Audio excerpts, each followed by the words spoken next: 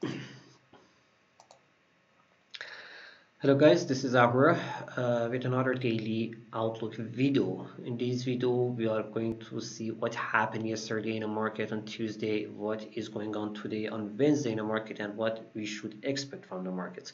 Market expectations uh, from inflation, and it, it was what we were expecting actually. I can say that what happened in the market, it was the uh, expected. We could see that the, uh, the risk of the market is increasing, how you can see in VIX chart on the screen and inflation both in United States and uh, China. We had a uh, we had the producer numbers from uh, United States and China and from China we had the consumers inflation numbers as well. Two days later we will have the consumers inflation numbers from United States uh, what we had yesterday, it was again telling us that inflation, you know, yesterday I told that inflation is if we see the numbers uh, uh, above expectations or in line with expectation or even in line with the previous month, not even the expectation. We, talked, we talked, for example, uh, about the PPI or producer inflation last month in on the monthly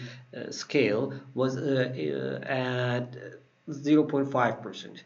And the market expectations for monthly PPI in October, uh, September was 0.5%. Monthly expectation, our expect, market expectation was at 0.6%. And the published data is also 0.6% in line with expectation. But the point is, it's above the 0.5% of pre previous months.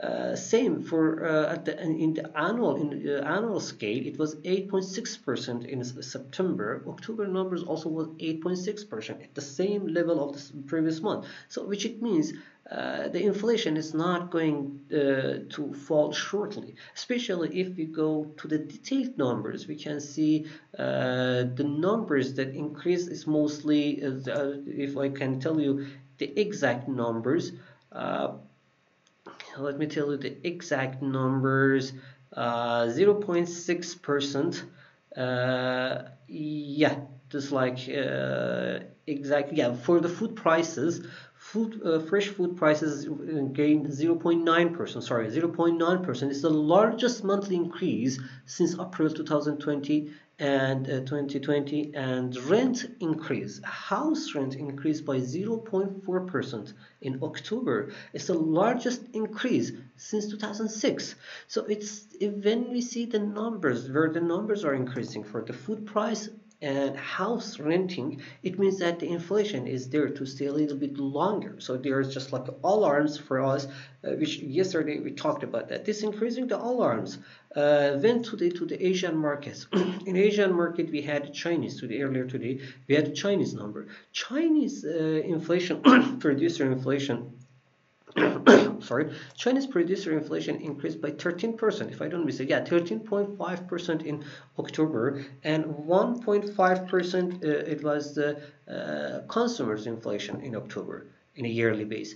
1.5% the consumers inflation and 13.5% the producer inflation.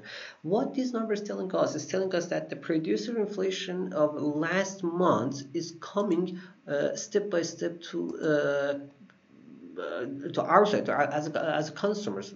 If you remember last week, I talked about that several times.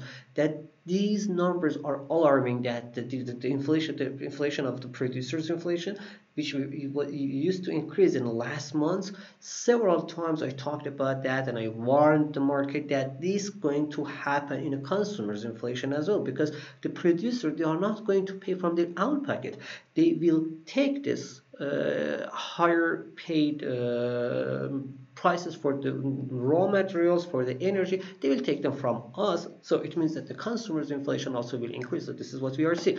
The other numbers that was interesting it was about the oil market. Yesterday the oil price again increased. There was a two reasons for that First of all, as I told you yesterday, uh, we had API uh, report, American Petroleum Institute report, as well as uh, short uh, EIA short uh, outlook for the energy market.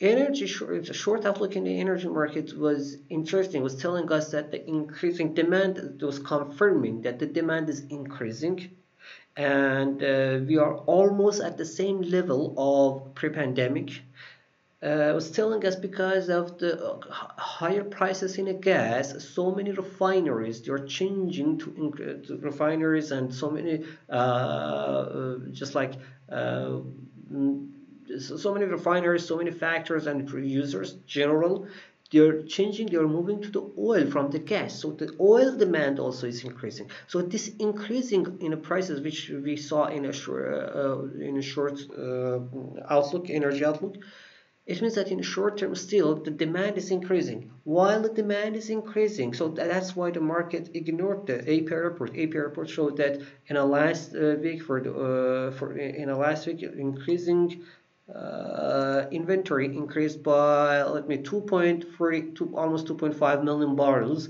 which uh, was far more than 1.9 millions of the market expectation. Supposed supposed to uh, see that the falling price and uh, falling the price in the oil market, but didn't happen. Why? Because EIA short outlook, energy outlook is telling us that energy demand is going to increase oil demand is going to increase that was the reason to input uh, to uh, see the oil prices at the higher level. And why it's important?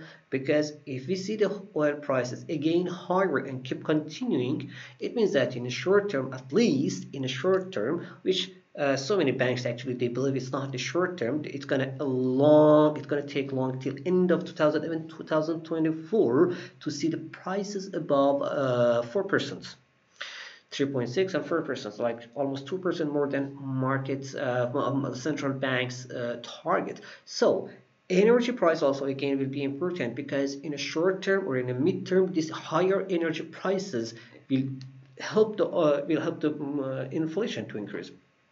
What was the reaction in the stock market? Yesterday, if you remember, uh, we were talking about the starting of the dots at 47,000, 4,700 in S&P 500. As you see here in S&P 500, the the price started to falling down from since yesterday that we talked about we warned you i warned that the, the market inflation uh, is in a very dangerous situation. The market inflation is increasing. The fears and the grade in the market is the, the fears of the people fears is increasing. When the fears is comes uh, you know, when, when fears come, the people decide by, based on their emotion and not based on uh, they, they they will ignore the they will ignore the reality. They will just find sorry they will just like uh, the people they ignore the uh, uh, they ignore the mind. They will follow their uh, emotions, the fears. Fears leading the market at the moment, and this will continue as I think so. If especially if today's CPI numbers or producer inflation numbers also we can see it higher. I most probably will see that the same level or even higher because why? Because in the last month producer inflation was increasing. So consumers inflation that we are waiting to see today from the United States will continue debate. Uh, and also today we will have EIA energy uh, inventory levels for the last week. At the same time, we have the uh, initial jobless claims as well. So, uh, so this is what we have to focus on the financial market. Yesterday we had uh, speeches as well from the central banks uh, we didn't see that much uh, changes in their outlook in their talks yesterday from previously what we heard them especially from Fed uh, Fed Chair. He he almost sorry.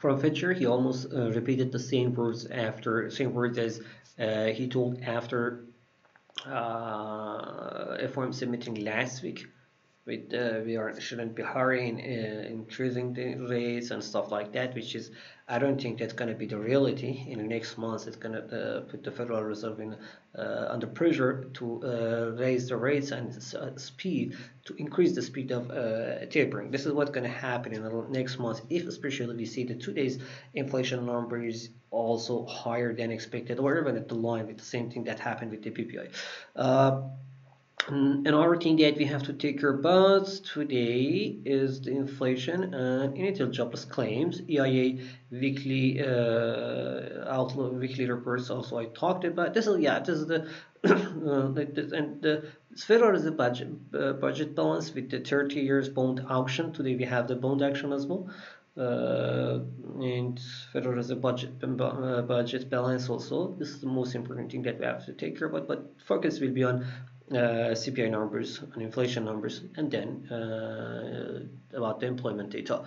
Uh, this is what the generally totally what's happening in the market. So we can see that the technical also, as we see here, the S&P 500, the EMA crossing strategy also starting uh, started to show the downside.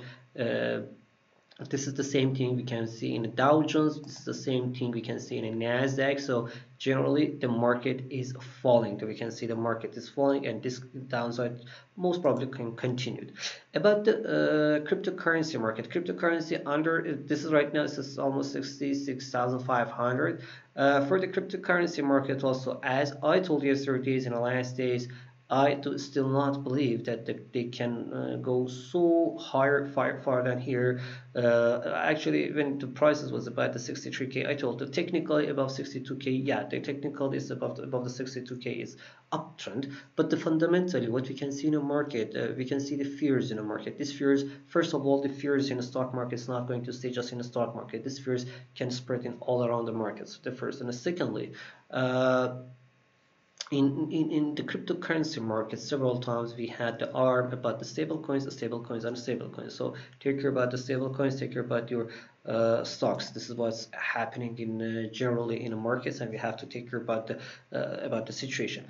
Um, this is yeah this is the most important thing that we need to know today. For today this I, I think it's uh, enough uh, to say uh, the most important thing that we needed to, to know in the market. We have to watch in the market. Uh, please let me know if you have any question. Write in uh, write in the comments. Tell me what you exactly want me to cover in the market and what you want me to talk about. If you had any question, also don't hesitate to ask your questions. See you guys again tomorrow morning. Goodbye. Bye bye.